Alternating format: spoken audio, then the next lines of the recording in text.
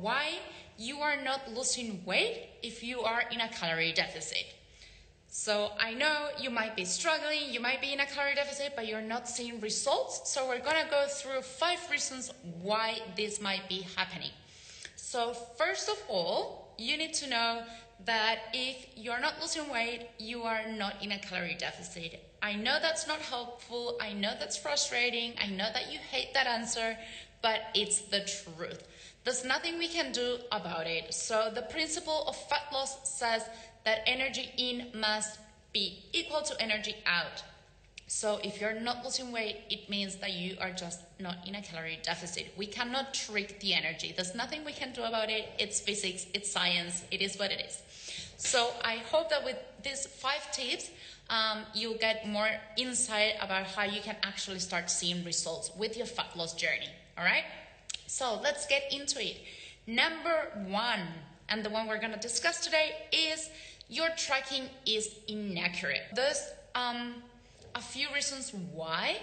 But first, you should know that tracking is a skill. Like everything in life, you need practice to learn how to actually track and to be proficient in that skill, okay? Um, you won't probably be great at tracking right off the bat, so you do need a little bit of practice to get better at it. So the first reason is because the entry that you are using on MyFitnessPal or whatever tracker you are using, it's incorrect. So the problem with MyFitnessPal is that anyone can input the information for any food, and then if that's wrong, and then you go and use that entry, you are not tracking properly. So you must be under or overestimating your calories and your macros because you're just using the wrong entry on MyFitnessPal. Make sure that you're using something like the NUTTAB if you're Aussie, um, that it's like the verified database of m- calories and macronutrients in food.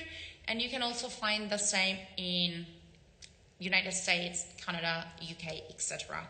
Um, so make sure that is the actual verified information for that food.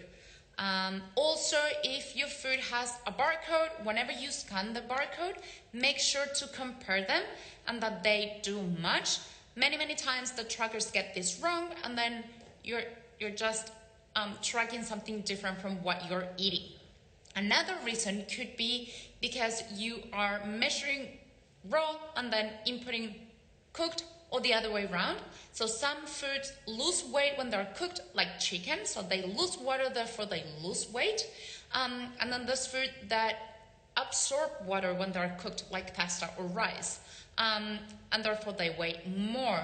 So you have to make sure that if you're measuring raw, you're inputting into your tracking app the raw entry. It doesn't really matter, and we're not going to talk about it if you measure raw or cooked. Um, at the end of the day, it doesn't matter as long as you're consistent with the same form of tracking, but just make sure that you are using the same entry as the one you're measuring. And then lastly, another big, big mistake while your tracking is inaccurate is because you're not weighing your food and therefore you have no idea how much to input into your tracking app. And you're using, using um, measuring cups or just eyeballing everything. Um, you might also be skipping some condiments, some sauces, um, the cooking oil that you're using. So all those little things add up.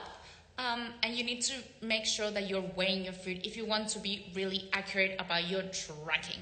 So these are a few reasons why your tracking might be inaccurate, which is one of the reasons why you're not losing weight in a deficit.